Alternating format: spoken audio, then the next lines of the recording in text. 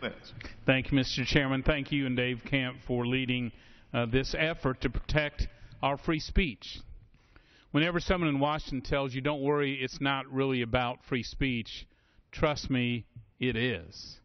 Uh, a lot of Americans are frightened by the thought that their government would target them based on their political beliefs. And I'm convinced that the darkest days in America's history has been when the government has tried to silence the voices of those who disagree with it.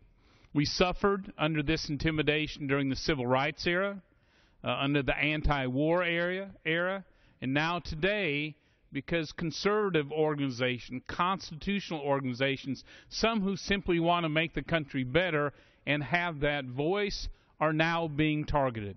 And make no mistake, this is not about clearing up confusion. This is about intimidation.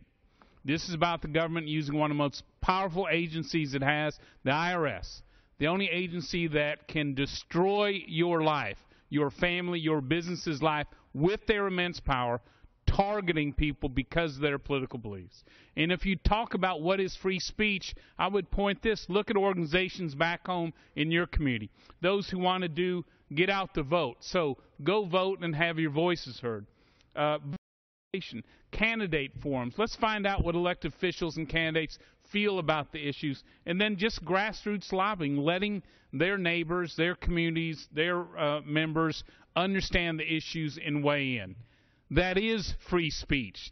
That is the First Amendment. And when this government targets uh, Americans based on it, we've got to stop it. Make no mistake, Republican, Democrat, Tea Party, Progressive, I don't care where you're at on there, we cannot let the government have this power. It must be stopped now.